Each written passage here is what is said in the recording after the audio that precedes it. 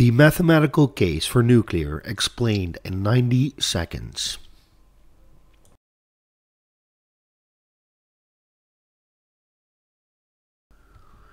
The Energy Information Administration expects that primary energy demand is going to grow from 600 quadrillion BTU up to 800 quadrillion BTU by 2040.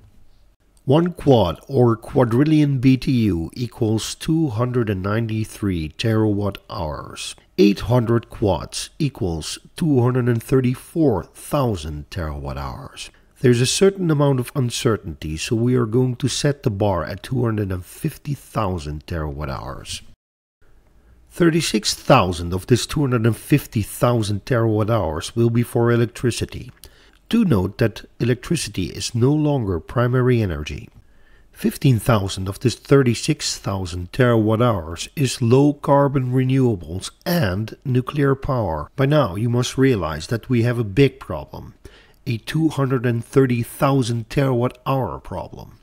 We don't add enough low carbon energy. I'm going to drop a terrible truth bomb here. We need 10,000 terawatt hours of additional generation capacity each year. This is 40 times more than we currently add and about half of what we consume in electricity each year. The only logical conclusion is that current technologies are insufficient. We need nuclear to step up to the plate and work together with renewables to help us decarbonize all energy eventually.